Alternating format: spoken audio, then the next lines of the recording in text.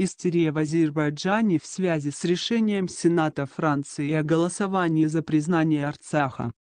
В Азербайджане вызвало истерию решение Сената Франции поставить на голосование резолюцию о признании независимости Арцаха. Перед зданием посольства Франции в Баку даже была организована акция протеста с участием 13 общественных организаций. Участники акции заявили, что гражданское общество Азербайджана против решения Сената Франции, и они хотят передать это через посольство.